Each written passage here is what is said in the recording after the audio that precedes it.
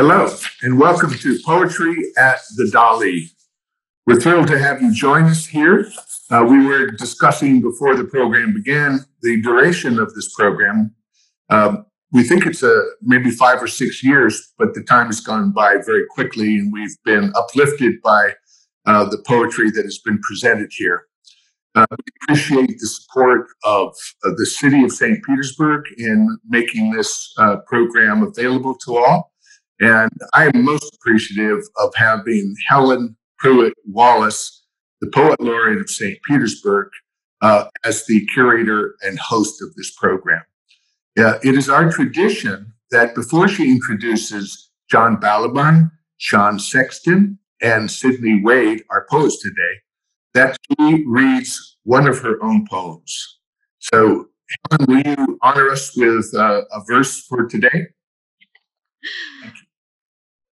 Thank you so much, Hank, and thanks to all of you all for joining us um, for a really terrific program um, that we have in store for you. I'm so delighted, very honored um, to have our three poets uh, So I will read one short poem, then I'll have the pleasure of introducing um, our poets for tonight. I'm gonna I'm gonna read a poem um, because each of these poets do explore the natural world, its darkness, its beauty. Um, I, I've chosen to read a poem that actually is is set in a location that I know at least a couple poem, a couple of our poets are familiar with. Um, it's it's about growing up, going to a little area near the Suwannee River. Um, and it's called Artifacts on Black Lake. And it has an epigraph that goes like this Memory is a present that never stops passing. Octavio Paz. Remember how Black Lake looked at dusk, plump frogs, the cypress dripping light, the fallen logs bearded with moss. Remember those weekends in the woods, the six of us, a family, floating in a silver canoe, our balance, even then, tenuous. But there, lily pads stretched out their palms, dragonflies tipped their purple wands, and we were safe. Remember how we rooted sandy roads for arrowheads with serrated edges, or pieces of notched and fluted flint. Artifacts exalting what had been, despite their shards. Now gates are rusted, locked, the farm sold, trailer hauled away kudzu cloaks the cabbage palm, and what we were, the heft and bulk of us, scatters like the hulls of dried seed. Forgetting finds its own weight to bear. We feel it like we once felt together. Pine sap still warm on the bark, a mockingbird's ecstatic summer song, and long, gauzy strips of unpaved roads. There, with paper cups of chipped flint, we held tight to what was honed, though broken. Thanks.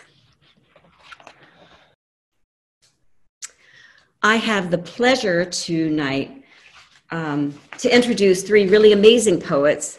Um, and the more I've read of their work, the more I'm entranced by the power of their poems. Um, and I and I really mean that. And um, they are poets I've I have read before, but I've never had the pleasure of meeting, except for Sean Sexton, who we did have at the Dali a few years ago. Some of you in our audience may remember Sean. If you were if you were in attendance, you absolutely would remember him because he gave a terrific reading um, a few years ago. And I'm going to start off by introducing him tonight. Sean was born in Indian River County and grew up on his family's Treasure Hammock Ranch. He divides his time between managing a 700 acre cow calf and seed stock operation, painting, and writing. He has kept daily sketch and writing journals since 1973. He's the author of Blood Writing Poems by Anhinga Press, published in 2009, The Empty Tomb, published by the University of Alabama Slash Pine Press in 2014, Descent, published by Yellow Jacket Press, and many, and May Darkness Restore, poems that were uh, published by Press 53 in 2019.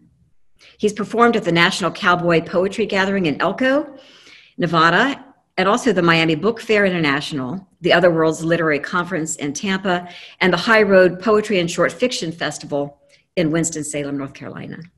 He received a Florida, International, a Florida Individual Artist Fellowship in 2001.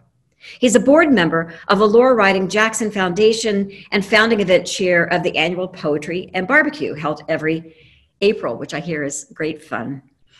Um, he's also co-founded a poetry and organ Advent and Lenten concert series at a community church in Vero Beach, which I've had the pleasure of being part of. Um, um, and he'll be featured in a solo show of ceramics at Flame Tree Clay Gallery in downtown Vero Beach in January 2021. He became the inaugural Poet Laureate of Indian River County in 2016. Please welcome Sean Sexton. Sean, thanks for being here. Thank you, Helen. It's a pleasure, and it's um, an additional pleasure to to have uh, two good friends and fabulous poets um, on the docket with me. The uh, the theme um, that you gave us was self and other, and um, I'm going to touch on it to start with, and probably depart from it from that moment on. But um, it's uh, the first is from uh, from my book uh, "May Darkness Restore" that you mentioned. The last hard parts. Someday, your last hard parts will be discovered scratched off a road, dug out of a ditch, held in rock, or scattered by the sea. Bits of tooth, knuckle, and nail, or fragments of a shell. Outlasting water and wind, fire and cold, traces of old meanness arisen from enshrouding bracken like quartz from clay where you last lay, and settled among the dust of your little certainties, remains of intransigence, further standing the test of time, evidence you wish couldn't be found of the emptiness in a human heart. And this is disparate. Maybe this is other. The girls in the museum cafeteria titter in pleasant gossip, coiffed and garbed alike in gold, cashmere, and silk. Each face keeps the same joy in this holiday escape from dailiness, as their secret society founded upon commiseration excludes a Venus in synthetic leopard wrap the next table over, her long raven hair mussed as if she'd just stepped from a Baroque bedchamber. She has nothing to say to them, nor do they ask, but sits attending an old blind Tobit and his wife sipping water and taking a frugal repast. Morandi's love, lonely bottles hang in the galleries upstairs, paintings in lush pink butter and almond paste, and the most exquisite grays in art. On a wall placard is a quote from his ending days If only you knew, Longhi, how badly I want to work. I have so many ideas I wish to develop. In quiet and solitude, he kept at his métier, sharing the family apartment with his three unmarried sisters, seeking only the recognition of his peers. The leering Chardin, rag tied around his bespectacled head, stolid Piero, mercurial Caravaggio, and the intractable, enraptured Cezanne.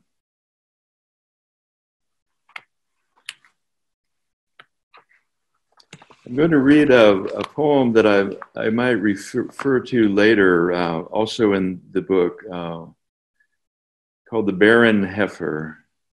Today is the day, the last crimson dawn for the barren heifer, a trek to the abattoir soon to arrive.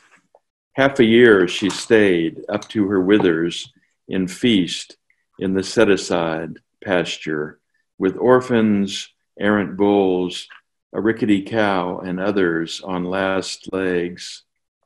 We drove her with an ancient blind dam who knew the gate, stored them together overnight in the pens to keep her blood quiet. She has no light, no soil within to plant. Dinner by dinner will send her to heaven, our bellies her path, one way or another.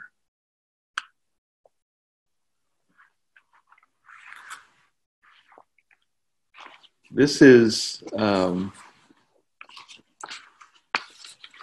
a poem called The Hillside Equipment Auction Yard outside Dothan, Alabama.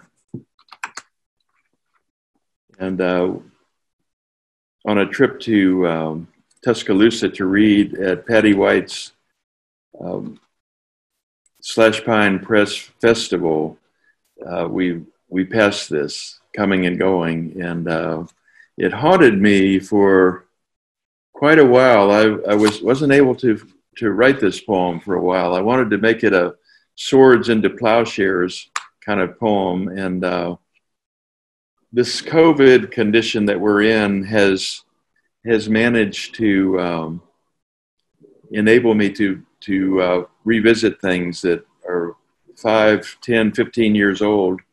This is one of them. And it, it came to me the, uh, the epigraph is I saw this on a bumper sticker driving around Alabama on a truck. We saw it uh, passing. The, bump, the uh, epigraph is I'm the wretch the song's about.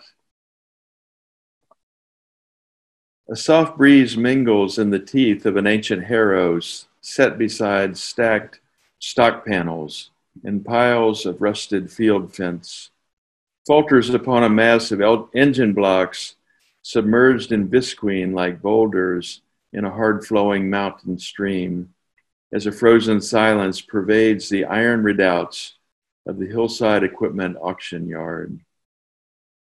There is a forlorn pause among disparate machines, hauled, driven, or dragged into places they seem remaindered from a wayward carnival in all its trappings Odors of fresh paint and grease confuse the apparition they comprise, cast from distant fields into glittering rows, as stood the Spartan army among the dunes, in early morning light awaiting the trumpet toll.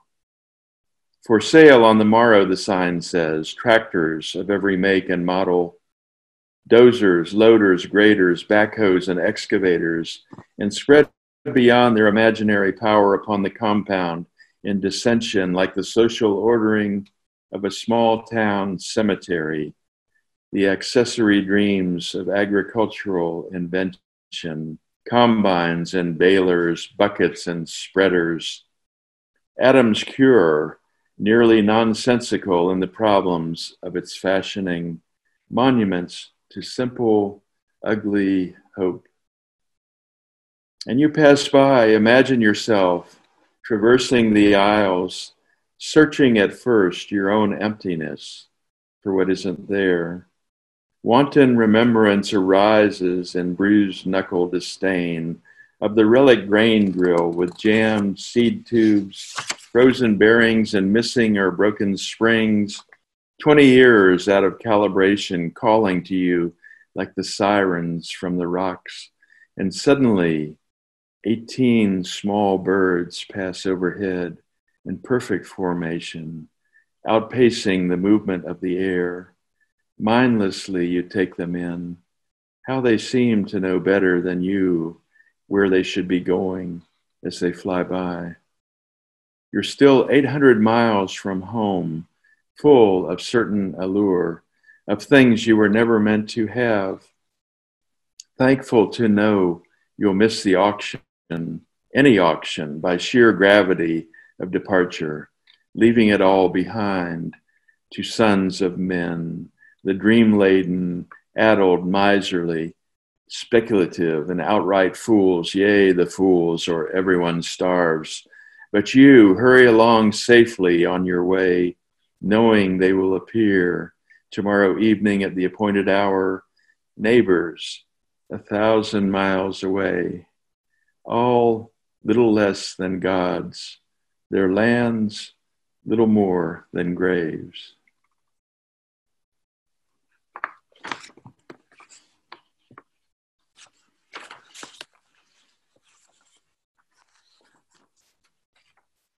Referred to um, to the heifer poem and wrote um, much later this one called Eating the Heifer. I'll dedicate it to John.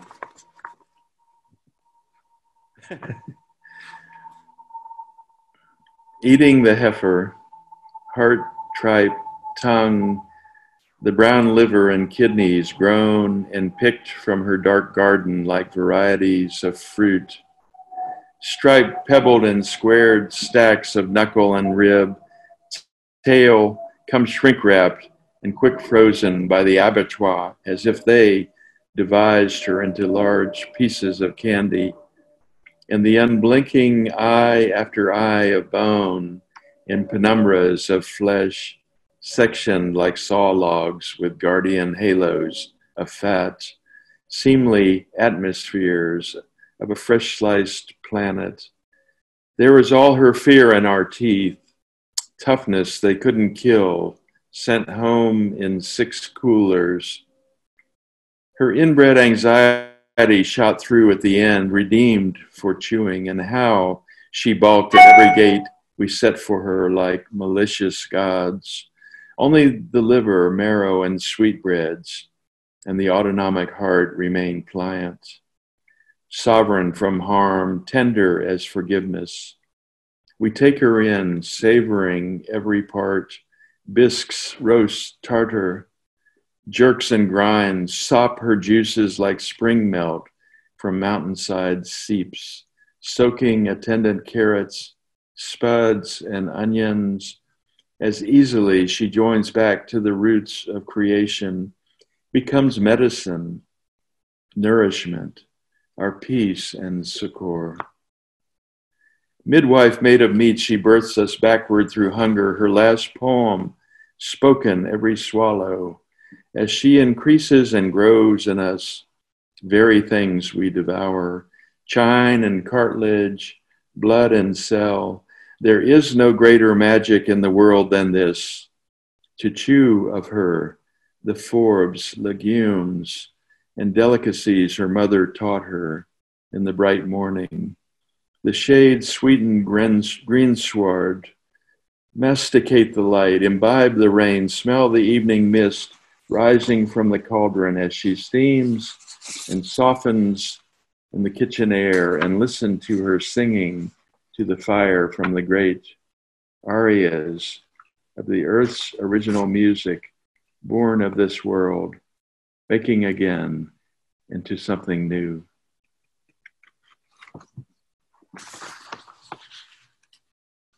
I think I've used my time. And um, it's so lovely to be with you all. I, um, I can't say enough of how, how wonderful it is. Thank you. Sean, thank you. Thank you, Sean, for that wonderful reading. Wow, such so many powerful poems, and, and it brings me back to the day that I was at your ranch and, and saw your cattle. And um, anyway, that was that was terrific. Appreciate it. I'm going to now introduce Sidney Wade. Um, Sidney is a poet, professor, and translator. And her eighth collection of poems, Deep Gossip, New and Selected Poems, was published by Johns Hopkins University Press in April 2020. She taught workshops in poetry and translation at the University of Florida's MFA program for 23 years. And she served as, as the president of the Association of Writers and Writing Programs. She's also been the poetry editor for the journal um, Subtropics for many years, and her poems and translations have appeared in a wide variety of journals, including Poetry, The New Yorker, Grand Street, the Paris Review, and many other um, literary publications. The Poetry Foundation website says her work is known for its elegant wordplay and interest in beauty and the sublime. Jordan Davis in Slate called Wade's imagination, quote, as powerful as any American poet since Wallace Stevens, noting that her poems always yield to paraphrase, pointing to something recognizable in the real world or the news. Her project to remain sane despite the gloom these words point to requires that she reassure, reassure herself and the reader that while, while we really are seeing what we're seeing, the constellations of light and love still exist. And we all need to be reassured of that right now. So thank you, um, Sidney, for being with us and welcome. Thank you so much, Helen. It's, a, it's an absolute pleasure to be with you all. I've so long admired John, uh, John's work and his translations, and um, and uh, Sean is a very dear friend, and I too have been at his wonderful ranch. I, I hope you get the chance, John, at some point. um, uh, thank you to the Dali Museum for this for this platform. Um, I'm going to read from from the new and selected, uh, the Deep Gossip book. Um, I'm going to start. Landscape uh, has always been, as you mentioned, um, a very powerful uh, influence on me, and I started writing mostly about that and then became a birder and started writing about birds. so um, this, uh, my family has a home in, uh, uh, in Kansas. Uh, it's the old family homestead, which we repair to um, every year, except for this past one, for, for a respite. Um, and this poem is, is called The Combine. It is uh, modeled on um, Elizabeth Bishop's The Moose. The combine.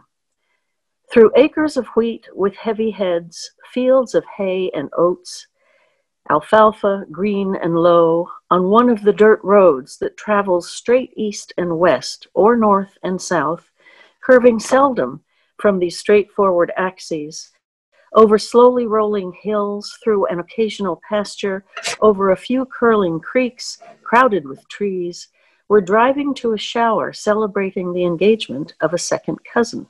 The wind is blowing. The sun is shining. We called him Straight Pete Nelson, grandmother says from the back seat of the car. We've passed his old homestead, and she's peering out the back window at the abandoned pile of dressed yellow limestone that once was a home. He'd stand at the ends of his rows and stare down each one as if his life depended on their being straight as blazes. Hmm. Did you know, Aunt Thelma interrupts, that Emerald Nyquist has taken to drink? Oh my. The small amazement at a world not thoroughly correct. On the right, the isolated but well maintained cemetery of the renegade mission devout broken from the Lutheran body many years ago, a civil war of minor proportions. A handsome headstone guards the Damker plot, two large markers and four small ones, all the children carried off by whooping cough in one unspeakable stroke. A single meadowlark sits and preens on a leaning post rock. On past fields littered with small square and big round bales of fodder. Yes, they say he locked his wife in the basement, then prayed for her resurrection. A pheasant trots across an unkempt plot. Here weeds prevail. We change direction at the goldenrod elevator, a solitary metal structure hunkered down beside the railroad tracks. The complexion of the noonday fields is metallic, a weather beaten grain glanced at by the sun. The motion of the wheat, in high relief and golden as can be imagined, is heady, oceanic. We fall silent, lulled by the roll of the land, the hum of the motor. Now, as we top a modest rise, we see a combine in a far field. Harvest has begun, and a single figure sits high as a lookout on his rust colored machine, small and angular in the distance. Without veering from an imaginary line, he works his way slowly toward the center, guiding the stately vessel around the selvages of the field, felling wheat in a wide wake behind him. I lived for two years in um, Istanbul and uh, was deeply uh, influenced by um, my surroundings there. Um, this poem is called Byzantium, which of course is the ancient name of uh, what later became Constantinople and then, and then Istanbul. Early summer, Istanbul.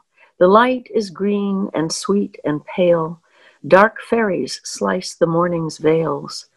On leafy greengrocer Byram Street, hunch mountains made of artichokes. Fish shine in rings on blazing trays, and the volume of the vendors' calls gains weight as traffic circulates. Copper is shaped with rhythmic strokes in crabbed streets where in older days the golden insects of Apollonius sang like brazen parakeets. A literary critic flew to Istanbul once to pursue some literary notions Ray the rectitude of Constantine, the triumph of the Western line. The cocksure fellow never sailed the ferries that continue to cross the waters of the Bosphorus. He had a headache, I believe. He dreamed a nightmare, then pronounced all of Asia squat and foul, and rode his line straight out of town to calm his nerves in Athens, Greece. He missed the boat entirely. East and west, the interplay of form and soul, of gold and dark, of Greek and of the Abbasid, the Persian and the Byzantine, find incessant synthesis on the shoulders of the Bosphorus, whose waters serve to both unite and separate two continents as autumn runs and shines between the banks of heat and winter's scrim. Snow on the ground, heavy and wet, Sheets of light shroud hulking mosques. Ferries now glide in and out of blinding fog, with two lights grim ablaze on each black dreaming mast. Soul here sails the what has been, its contrast and complexity, shifting images that correspond to starlit domes of hierarchs, to tankers in the churning sea. While there in uh, Turkey, I um, traveled around the country and visited a, an ancient uh, ruin called Termessos. Um, it's in the southern mountains of Turkey. Um, uh, the place is so um, um, hard to get to. It's way, way up a very steep mountain. It's a miracle that they managed to build these beautiful um, buildings that have withstood uh, some of them numerous earthquakes thousands of years. Um, it was so out of out of the way that um, um, Alexander the Great decided not even to bother trying to conquer it. It was it was too hard. Um, I was reading um, John's spectacular poem about um, the Acropolis, and this reminded that reminded me of, of this particular spot. Termessos. From ashlar blocks, cool to the hand, from the passionately accurate spaces between them, from cisterns brimming with desiccated comment, from the heard but invisible snake in the brush, rise the word walls of a ruined city. Wait, they seem to be saying, wait. They have waited through mountainous declensions of time, through bronze panels of sunlight that transfigure the fall and lisping snows and the engorgements of spring. Wait, they say in the dialect of stones that converses with surge and the moving earth. There is work to be done. There are, there are cores to mine. There is a future here of geometrical purity if you just take the time to analyze the lines and to scrape and examine the speech pocked friezes. Wait, they repeat, and I navigate a cleft with the feet and the heart and the desire to believe in this stone born imperative and its constellations of lichen that testify there is no less diminishing, there is only the organic work of translation. Um, I wrote this next poem um, in great discomfort after the first non election of George Bush. um, and it felt like uh, as the country is today, the uh, just utterly divided right down the middle, almost like a stroke patient whose right side does not does not recognize the left. Um, it's called a sonnet called "No Comfort to Be Had." After it happened, the blood pressure soared. Half the body wept, one hand on its brow, while one of its two legs began to march to the drum of that which had prevailed. One half of the brain, bewildered, racked itself in search of comfort, while the other, firmer half scoured the mall for a gown for the ball. The body, thus arrayed in perfect discord, one foot crammed in a party shoe, now began to stagger around the room, starched and wilted all at once. One eye, the pale one, stared at the clock ticking on the shelf, whose face concealed a belly full of worms. One hand nailed the orders to the wall.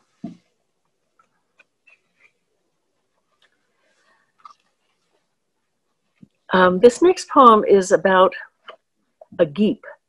Um, I don't think many people have heard of a geep, but it is a real thing. It's a, a genetically engineered creature um, made out of the, uh, the genes of both a goat and a sheep, thus geep. I refer in the poem to Michael, who was my office mate at the time, Michael Hofmann, who was a, a good friend and a wonderful poet. Geep. The music of the sleepy day was ravagingly dull until Michael reeled up a geep from the depths of his considerable intelligence. A geep, a wonky blend of goat and sheep, a medical medley, genetic fugue they call chimera, another wholly enthralling sound we found when Googling Geep, whose enharmonic bleating in the end rings oh so sad. The photo on the screen reveals a downcast baby creature, neither here nor there, two bold and mordant sets of chromosomes whistling fortissimo through its patchwork hide, a botched up map of silken hair and woolly yellow fur, its forlorn droopy ears a study in radical embarrassment. I feel profoundly sorry for this border folly, this lonely little instrument of the ever expanding notion of what's possible. But then I see we're kin, the little geep and me, we're marginal ephemera, intoning low, invisible messages at the edges of the known to who knows whom, the difference between us a matter of a degree. The poet, of course, a hybrid creature of transport and remorse, an overreacher in semaphore, who knows that sounds the gold in the ore, whose pleasure ground is linguistic welter that rides like ice on its own melting to paradise, or to a stranger land we don't yet understand. Those of you who know Frost's wonderful, Robert Frost's wonderful essay, The, the Figure a Poem Makes, will recognize the wholesale theft um, involved in that last little, little sonnet. Okay. Um,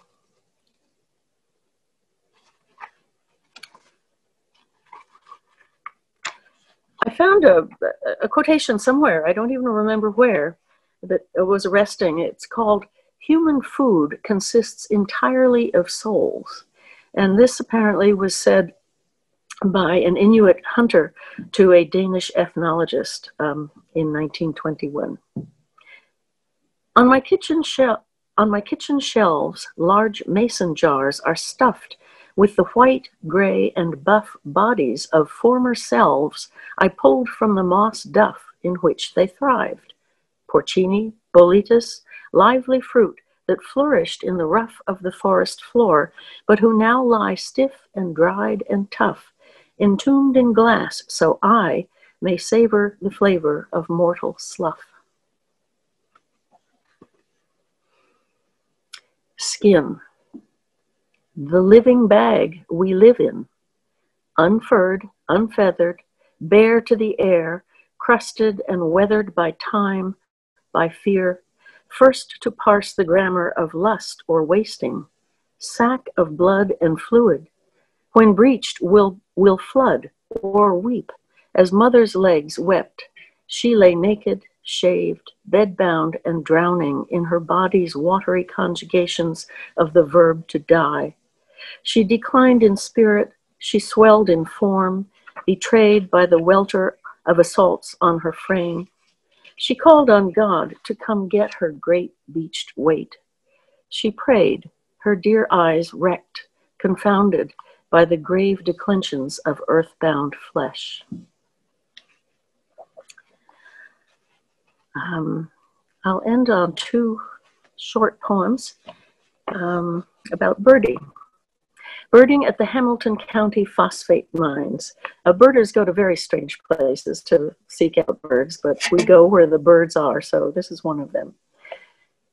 The plunder of the vast pine woods has sundered Earth's live crust from rock. The earth has been stripped and flayed, and great white mounds of chalky phosphogypsum loom giant poisonous breasts over milky waste clay ponds. Here, thousands and thousands of birds perch and swim, dabble, soar, and dive. Hawk, duck, stork, sora, anhinga, sparrow, wren, all thrive in this humming mess. Sorrow yields to dubious wonder at the fecund, blousy zen. And finally, birding at the dairy. We often go to a very large and noisy uh, agricultural dairy associated with the University of Florida, but the birds are there too. We're searching for the single yellow headed blackbird we've heard commingles with thousands of starlings and brown headed cowbirds when the many headed body arises and undulates, a sudden congress of wings in a maneuvering wave that veers and wheels, a fleet and schooling swarm in synchronous alarm, a bloom radiating in ribbons, in sheets, in waterfall, a murmuration of birds that turns liquid in air, that whooshes like waves on the shore, or the breath of a great seething prayer. Thank you so much.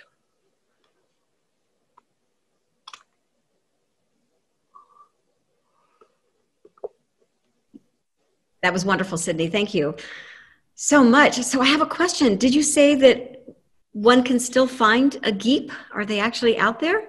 Um, what, at least one existed. It has to be engineered. Um, it, it, it doesn't come naturally. That's probably a little reassuring. yeah. I guess, yeah. Oh, that was a wonderful, a wonderful reading, and, and enjoy the, the wordplay just so very much. So thank you. Um, next, I have the pleasure to introduce John Balaban. John is the author of 13 books of poetry and prose, including four volumes, which together have won the Academy of the I'm sorry, the Academy of American Poets James Laughlin Award, a National Poetry Series selection, and two nominations for the National Book Award. His book, Locusts at the Edge of Summer New and Selected Poems, won the 1998 William Carlos Williams Prize from the Poetry Society of America. In 2003, he was awarded the Guggenheim Fellowship. And in 2005, he was a judge for the National Book Awards. Balaban served as a conscientious objector during the war in Vietnam. And in addition to writing poetry, fiction, and nonfiction, he's a translator of Vietnamese poetry and also the past president of the American Literary Translators Association. In 1999, with two Vietnamese friends, he founded the Vietnamese Nôm Preservation Foundation. Excuse me. And in 2008, he was awarded a medal from Vietnam's Ministry of Culture for his poetry translations, and his leadership in the restoration of the ancient text collection at the National Library. So, so interesting. Uh, welcome, John. So happy you could be here with us for the Dali Poetry Series. Happy to be here with you and Sidney and my friend Sean.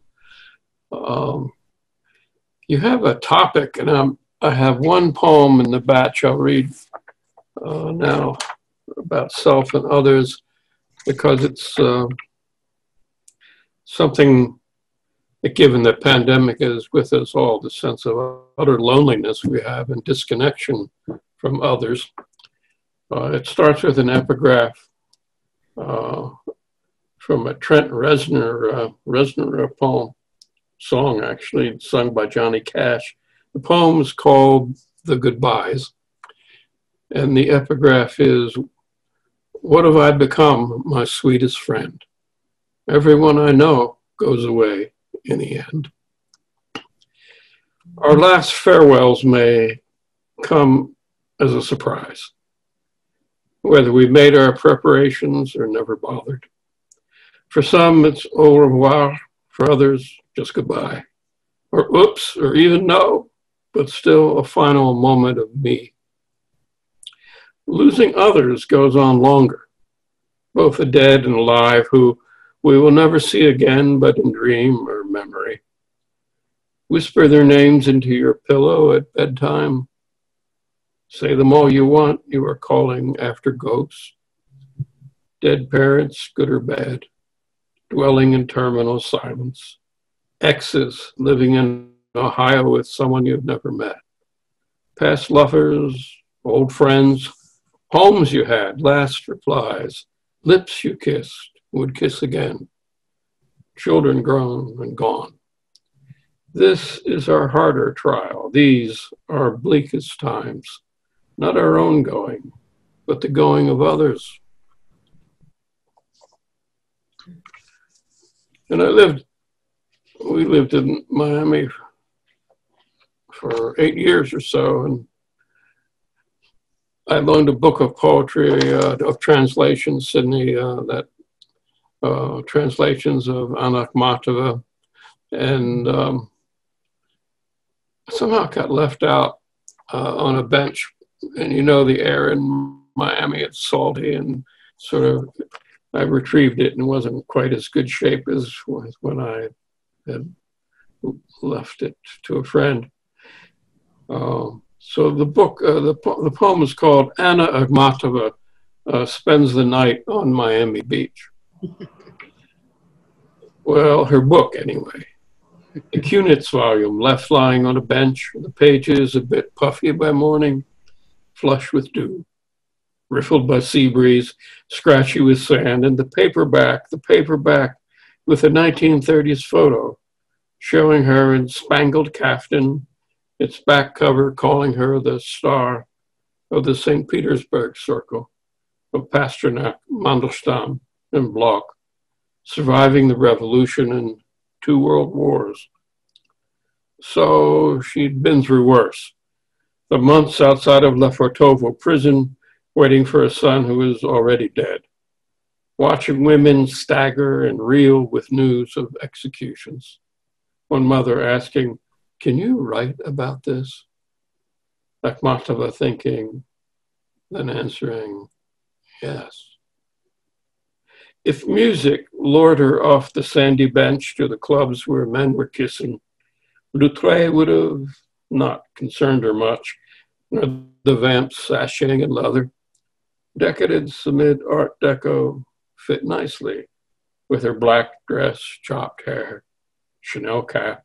What killed her was the talk, the empty eyes, which made her long for the one person in 10,000 who could say her name who could take her home, giving her a place between Auden and Apollinaire, to whom she could describe her night's excursion amid the loud hilarities, the consuming hungers, arriving towards the end of the American era. Can you hear me okay? Yeah? Okay, good. My wife and little daughter and I arrived in Miami uh, just a few weeks for uh, before Hurricane Andrew. You remember that? So, um, and the whole place was wrecked. Of course, we were safe, but we had to dig ourselves out literally just to get out of the building. Uh, so many trees came down on the house. Uh, but we had a wonderful friend uh, I had known through Sidney through translation, uh, Elling Eide, great translator of uh, Li Po, Chinese translator, but also a great botanist uh, whose family had settled uh, near Sarasota, right out of Sarasota, 100 acres around the turn of the century before last. And um, Elling and I started talking through translation, and we became great friends. And when uh, the hurricane was over and the roads opened up, he was the first person to come visit us, as you'll see in the poem I'm about to read. After the hurricane, near dawn, our old live oak sagged over, crashed on the tool shed, shed, rocketing off rakes, paint cans, flower pots. Rain slashed the shutters all night until it quit, and Day arrived in queer light, silence, and ozoned air. Then voices calling as neighbors crept out to see the snap trees, leaf mash, and lawn chairs driven in heaps with roof bits, siding, sodden birds, dead snakes. For days, army cranes clanked by our house in sickening August heat as bulldozers scraped the rotting tonnage from the streets. then our old friend, Elling drove over from Sarasota in his old VW van packed with candles, with dog food, cat food, flashlights, and batteries, jugs of water, a frozen cake, crackers, and caviar, a case of Tsingtao beer, some chainsaw blades, and tropical trees to plant the place again. Five years later, the ylang ylang rises 30 feet, unfurling long yellow blossoms to fill our evenings with essence of Chanel. And so it goes with the Pritchardia palms, the gumbo limbo, Cuban guanabana, papaya, bananas, and bamboo. Now the house is shaded, overhung with bougainvillea, trellised in passion flower, scented by gardenia, by Burmese orchids that drink our humid air, offering each its reply to wreckage.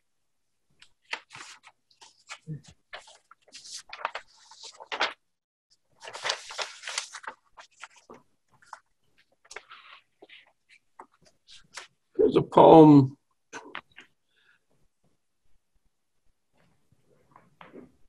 that I wasn't sure I'd read, but I will. Ibn Fadlan, do you know the Arab uh, journeyer into uh, around the 10th century? Well, in 922 AD, he sent a message back to the, uh, the ruler, the caliph of the period, uh, describing a trip he had made where he had seen uh, um, Westerners on the river, Volga, Volga, Volga River. Uh, and he came to a conclusion about our world at that time when his world was so. Well, you'll see that. Ibn Fadlan, the Arab emissary, encounters Vikings on the Volga River in 922 AD. The Rus, as they are called, camped above the river, trading furs from a log haul axed out by slaves. The men, tall as date palms, blond, tattooed, had set a pole out front, carved with gods, to which they may offer things to bless their trade. This was all I saw of their piety or conscience. Caliph, they are the dirtiest creatures of God. Each morning, when the men stir out of sleep, a slave girl brings a bronze ablution bowl, first to the chief, who washes his face, then rinses his mouth, spits, and blows his nose into the bowl, which he carries around until each is washed in the same filthy water. When their lord died, a huge Sahira Dakhma, the witch who rules the slave girls, set them wailing as they packed his corpse in black earth, and his men built a death ship with a funeral pyre.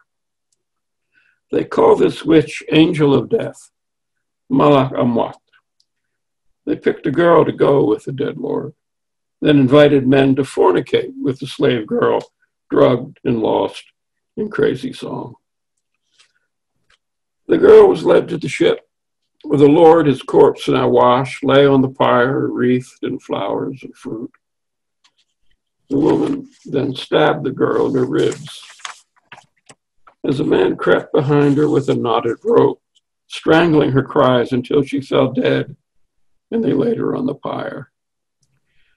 Torching the ship, knocking away its blocks, they shoved it blazing into the river, singing their Lord to a life of pleasures they imagined.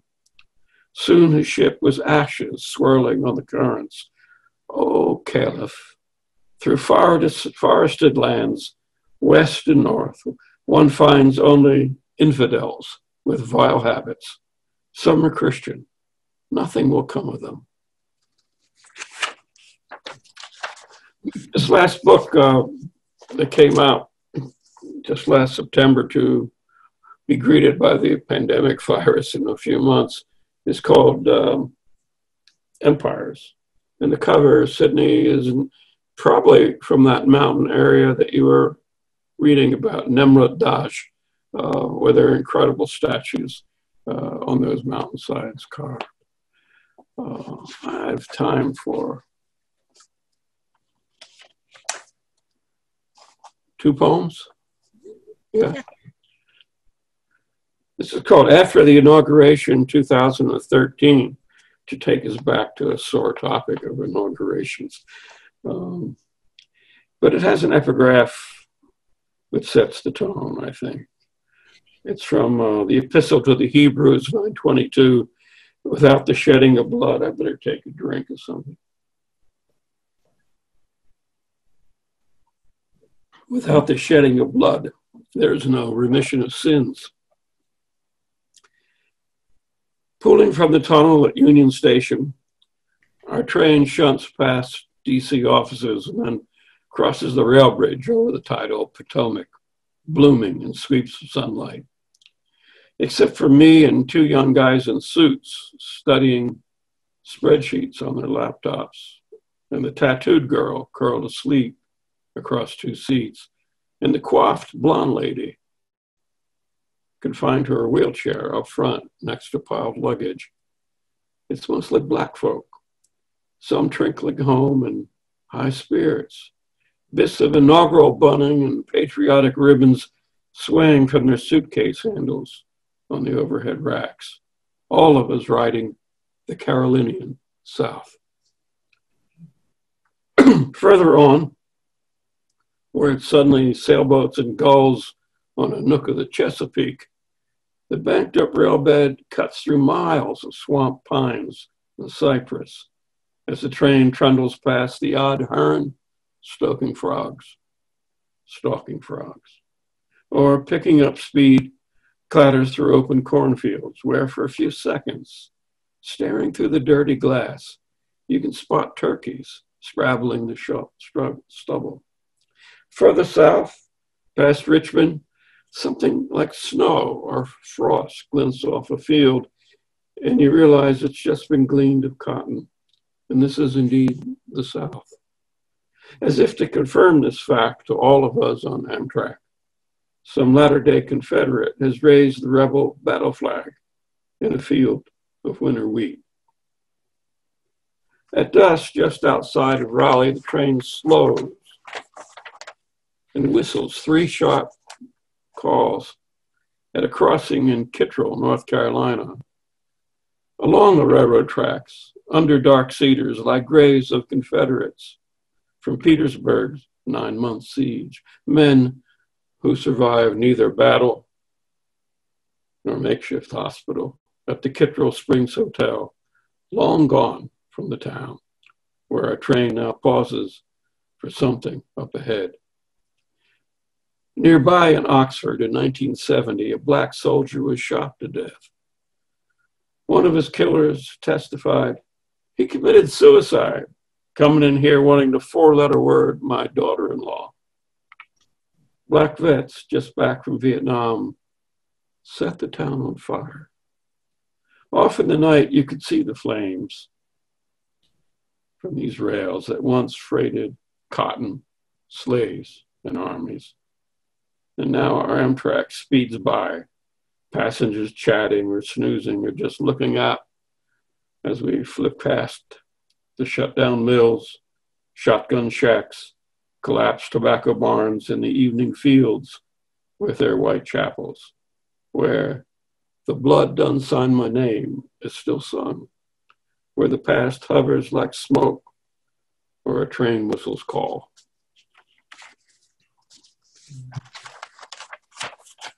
This is a short poem, one last one.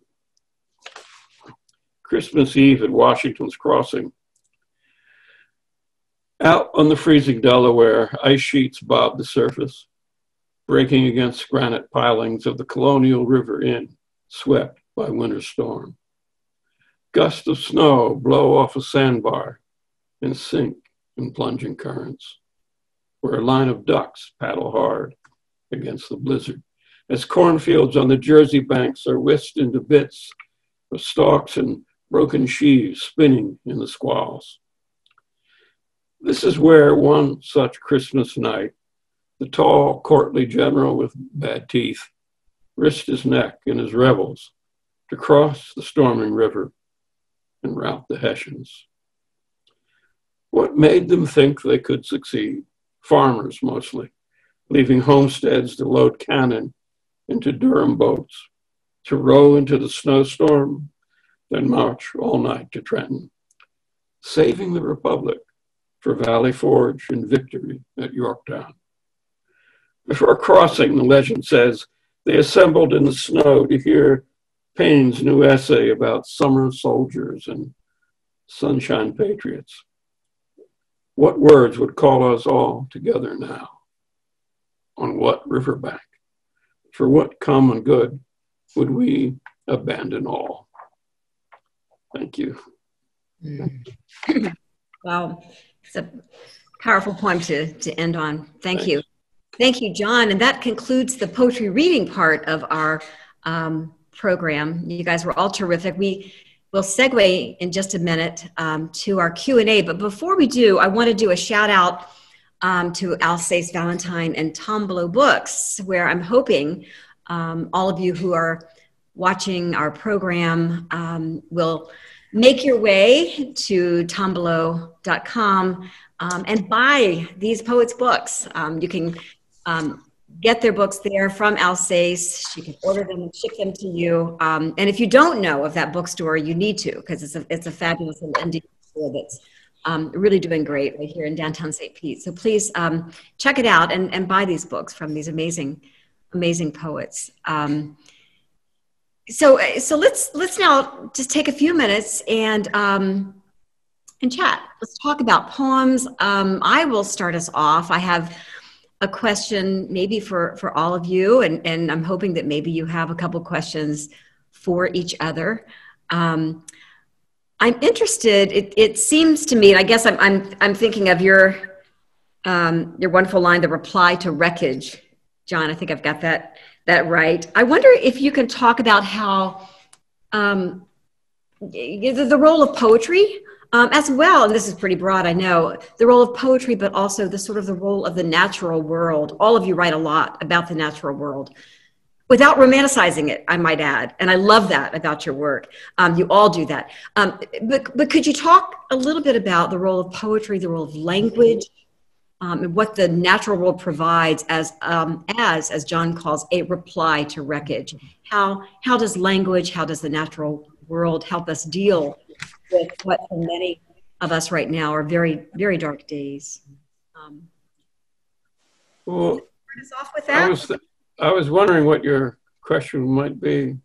And so I, I, I dug out a, a, poem that I've read since college, uh, W.H. Auden's in memory of W.B. Yeats, right?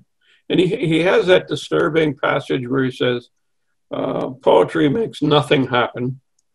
It survives in the valley of its making where executives would never want to tamper, flows on south and so on. And then he says at the end of that passage, after saying it makes nothing happen, and apparently diminishing it, he says, it survives a way of happening, a mouth. And what that d- suggests is that in the usual lonely silence that we live in day to day, and perhaps which we feel even more in special times like the one we're in right now. Uh, a, a, chilling loneliness, and it's uh, there seems to be no way out of it. Uh, sometimes the, the, right words will come in the right way, and uh, poetry can do that and take us out of our misery and envision a happier place. And it may be that the natural world for all of us is important because that place is steady in its beauty and encouragement to the degree that we don't mess it up ourselves. But Sidney, you have us, you're shaking your head, so I know you have something to say. yeah, I um, the natural world is always a balm, um, B A L M, um, yeah. to me because um, there there are a few people out there. it's a refuge, but but it too is um, is a desperate place. Um, the more the more I've learned about, the more I've watched and learned about birds, the more I, discover how vicious um, nature nature can be and is all the time. Um, so um, it's I, I, think it's a matter of translation, basically. Um, uh, one translates what one sees. And uh, Sean had a really wonderful line in one of his poems called Vision, where he wonders, how do we come to see what we see? And, um, you know, so many of his poems are filled with catalogs of, uh, of, of, of, things, of, of um, natural things, uh, man-made things, objects that we use that and have and disuse. Um, and uh, he seems to be uh, insisting that, that we look at them in the same way that he does. Um, and that to me is a, is, a, is a way of translating one's consciousness um, um, using, using the details, the implements of, of the everyday or the natural world. The landscape for me um, is is indeed a refuge. This morning, my son and I were crossing a field uh, to make sure the heifers were all were all uh, had calved safely and uh, there was nothing going on. And it was so funny on that very subject of vision. Uh, we saw, uh, we wondered there were there was sort of a bright uh, silver passage in the trees in the distance, and um, I said to my son, either that's just the way the light is falling on those trunks right now, or that's a Brahman heifer all, all uh, heaped up and having trouble calving. And we had to cross the field to be sure. And it was just a flare of light. It was just the way the light was acting. Uh, it was as if, although I've been here 65 years, it was as if the it was the first time I'd seen that. And uh, uh, you know, all of those things are they're things of great uh, solace in one sense, and and great concern in in another. And uh, so, it's a difficult place to uh, to completely let your hair down. You know, you, you do have to uh, you do have to worry about things. Being the steward. I, I, I love that. Um, I love that image, Sean. And I think, I can't remember the name of the poem, but I believe you have an image very much like that in one of your poems um, about, uh, about that light and then discovering that it's actually a, a, a calf or, yeah, it's, it's a terrific image. So, yeah. And I'm also, I'm also struck, John, when you talked about um, poetry as, as, sort of helping negotiate that, that darkness.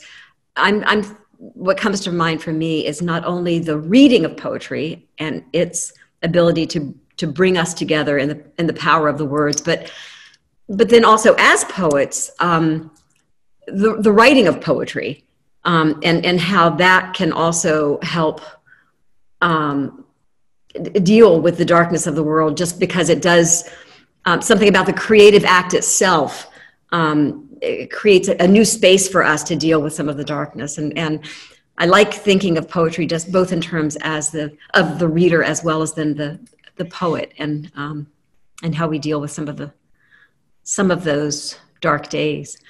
Um, what what questions might you have for each other? I've got others if you don't have any, but um, I wanted to ask John um, how his uh, his translation uh, work has affected his own work. I get asked that all the time, and I don't, I don't have a very good answer for that. but I'd like to know what John thinks. That's a great question. Um, well, uh, you know, I translated poetry mostly from Vietnamese, right? I've done some others, but perhaps I knew most about the um, prosody, the metrics, the history, the tradition of those uh, two cultures. One highly literary, derived from China, the other uh, folk tradition, equally int- intricate and, and subtle, um, but sung out loud by people who couldn't read or write. that latter poetry, the folk poetry, um, was reassuring of my own early beliefs in imagist poetry because it, it hardly has any flat out declarations or statements or pieces of advice, uh, but it makes all of its uh, arguments to the reader uh, from pictures from the real world that are very natural, that belong into the countryside, the people who grow rice for a living for the most part. And then correspondingly, the uh, highly formal poetry based on the Chinese uh, regulated verse form, where every poem is eight lines long, seven syllables to a line, rhymes in the first, second, fourth, sixth, and so on. Uh, th- that sort of reignited my own awareness and memory of uh, this the tradition of English poetry that I had grown up on. So I think when you start translating something outside of yourself in a different culture, you learn about yourself in the culture that you grow up in. You grew up in yourself, and uh, maybe they do something good for each other. I think I've only tried to make one or two poems where I took uh, Vietnamese metrics and structure and put it into an English poem just to see if it. Once I was stuck at an airport, had no lights on the field. It was on an island in, in uh, the ocean, uh, Gulf of Siam. so I just doodling, waiting, and I uh, wrote a poem that way. That was fun. yeah. Yeah. You yourself, Sidney. I, I remember reading something, an introduction about you somewhere where um, you were talking about teaching and what you got from teaching students, and then you talked about uh, the hard work of writing poems. But then those uh, special moments where one comes breaking through, and it just is wonderful. But w- what did you say exactly? Do you remember that? Um, trying to remember.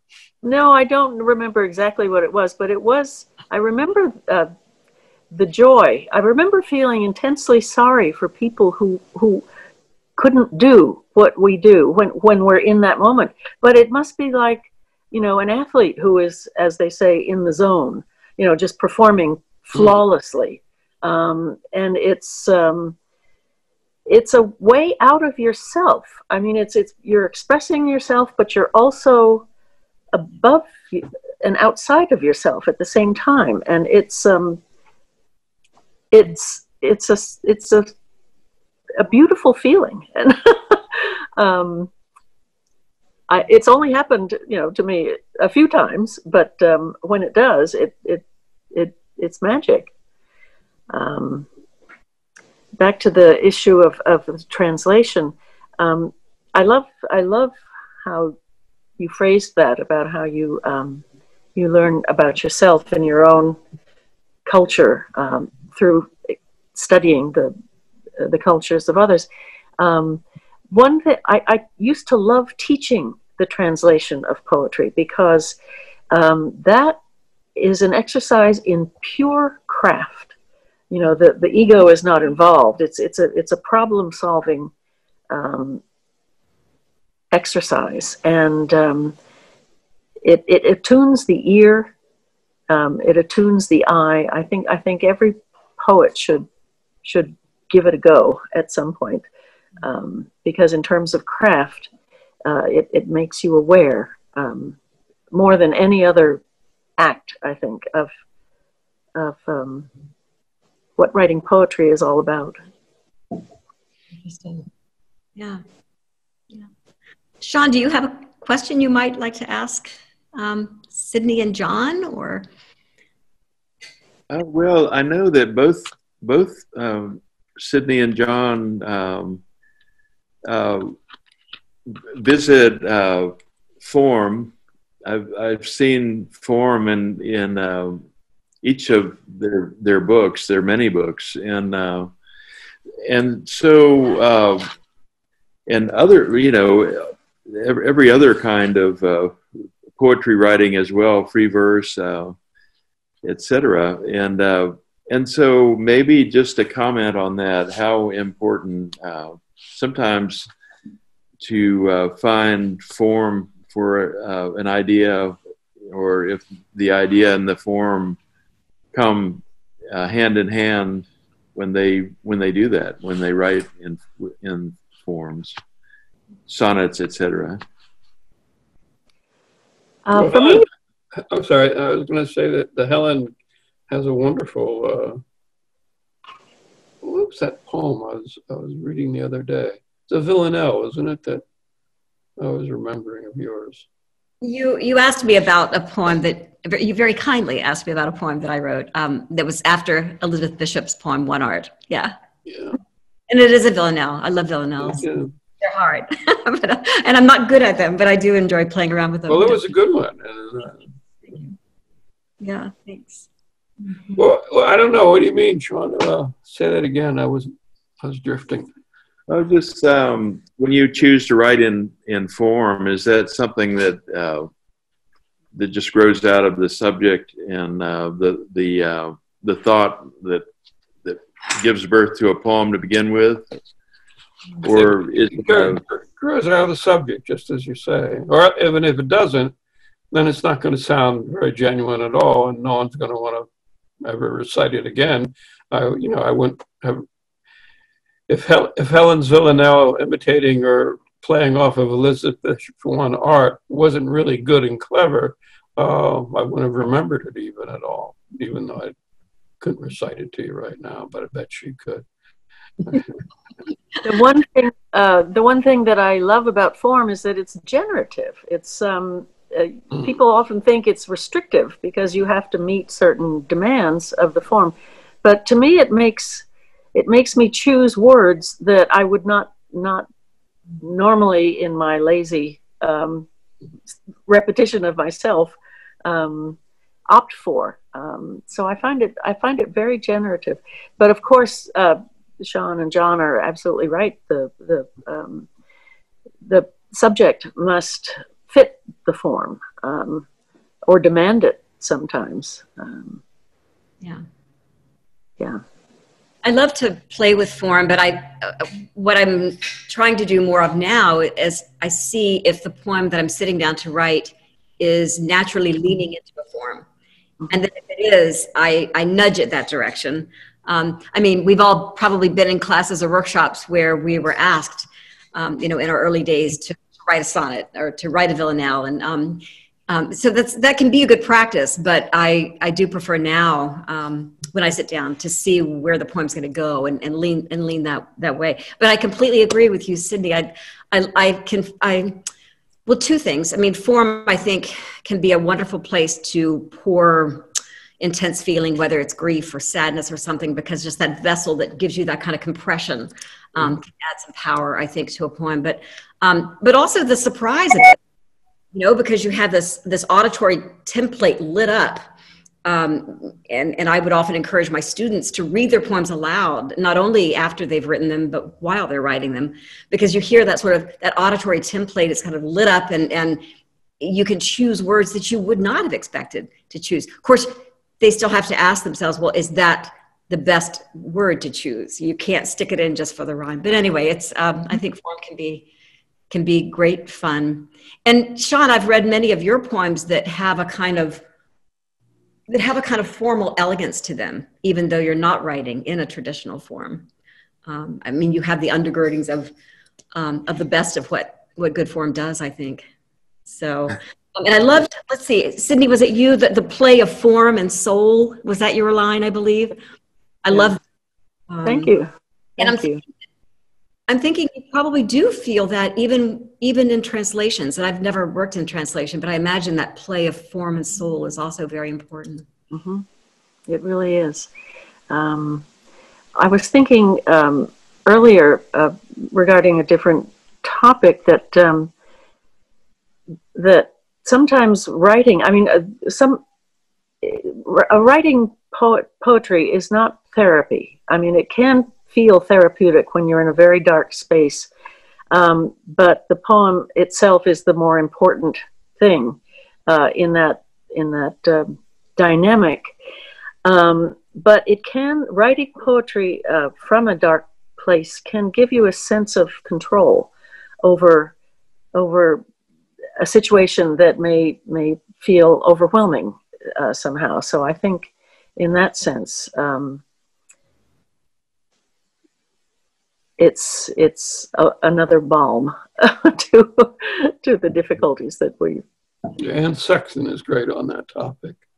If you ever look at some of her interviews or essays, uh, where she talks about the importance of form, yeah, yeah, I think it's it's an importance to her because she couldn't possibly even write about any of those things she was writing about. They were so upsetting and personal. Mm-hmm. Mm-hmm.